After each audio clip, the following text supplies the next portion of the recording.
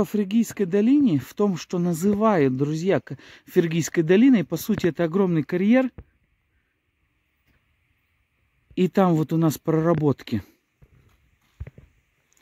Но я хотел показать вам те самые колеи. Вот они фрагментарно идут, но...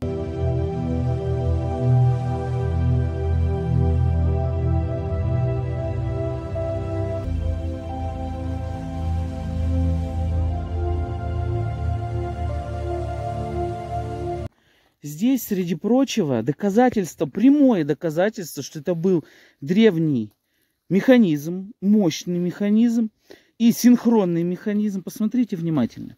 У нас идет раз, два, три, ну и там вот потом шла четвертая, она уже, к сожалению, здесь все размыто, река все это уничтожила. Этот механизм синхронно заруливает, выходит в бок. Вот он, вот вышел в бок, вот вышел в бок, вот вышел в бок. Дальше он снова идет. Потом он у нас снова заходит сюда, сюда и сюда и сюда. Четвертая, пятая у нас сохранилась чуть-чуть, но вот она, видите, уже в целом разрушилась. Дальше не все, мы продолжаем. Он у нас опять до какого-то момента доезжает и начинает... Где у нас он начинает? Начинает, так, это прямая, прямая, прямая линия, а потом он снова вышел вот сюда, вышел вот сюда, вышел вот сюда, чуть заходит в бок.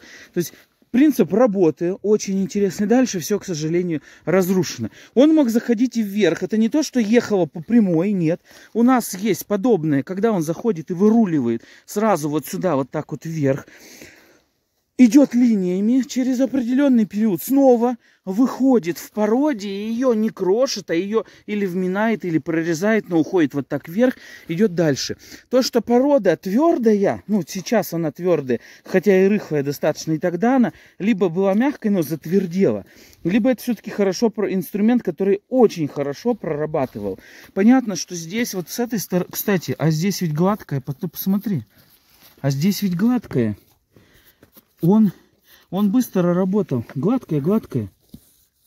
Гораздо, а, он срезал. Это та рыхлая часть. То есть вот, хорошо, что зашел сюда, сейчас поближе. Вот оно. Это гладкая, гладкий срез. Там и все, все. Ну то есть он все-таки ее не крошил, он ее вырезал и вырезал сразу так, что ну, вот, типичный след оставался от быстрого движения. Но тогда что так быстро, мгновенно двигалось, при этом ехало, при этом во все стороны поворачивалось и помещалось здесь. Да. Снимая без штатива, к сожалению, забыл штатив. Туф слоистая порода. А мы сейчас находимся в древнем карьере, и я покажу вам, что это древний карьер в Фригии. И здесь же, в Фригийской долине, есть и те самые колеи, и что это, как колеи выглядят, сейчас мы тоже немножко изучим. Но несколько буквально пунктов, почему мы считаем, мы здесь вот находимся, э, что это древний карьер.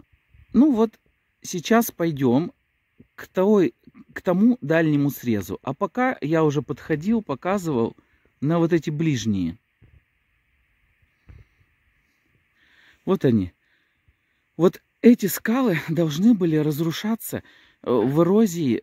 Туфовые скалы должны были просто рассыпаться. Их же каким-то образом кто-то нарезал, выровнял линии. Такого очень много я находил. Позади меня, просто надо мною. Здесь, к сожалению, вот так вот по солнцу. Но э, визуально воспринимается, что это просто большие срезы. А мы давайте посмотрим на некоторые следы, которые, правда, похожи, что это что это был инструмент. Итак, но с одной стороны колеи у нас идут вертикально в разные стороны. Они немножко не вертикально, а скажем так, диагонально заходят. И по дуге. Дальше ширина их, вот привычная ширина у нас около 10 сантиметров. Они до сих пор сохранились. Где-то глубина у колеи весьма приличная. Вот видите, какая в ладонь и даже выше. Что выгребало подобную породу.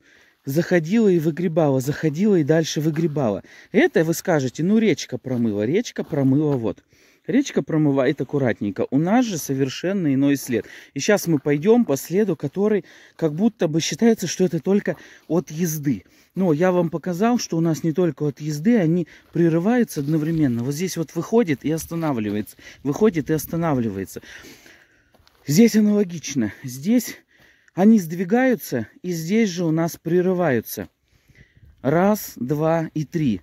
Аналогично продолжается. Раз, два и три. И такие колеи, вот сейчас впереди, колеи весьма хорошие. Это не те фергийские колеи, которые принято показывать всем, но мы же изучаем действительно все. Вы знаете, канал «Забытые руины» показывает объекты,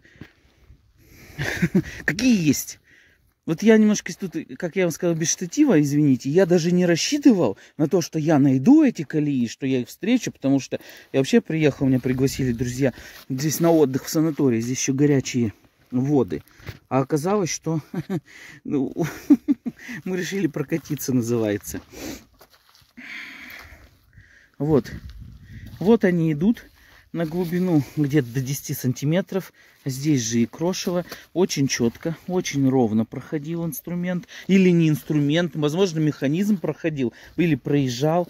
Но он у нас немножко зашел, немножко зашел, немножко зашел, он был тройной. То есть мы можем сказать, вот он здесь зашел, здесь зашел и здесь зашел. Одновременно следы, и это тройная, а еще похоже четверная, потому что четвертая линия нарисовалась. Здесь она уже возможно, от времени исчезла. А дальше, а дальше это, это же, ну это оставили машины, вот эти огромные горопроходческие машины, которые весь этот карьеры делали. Сейчас мы к нему подойдем.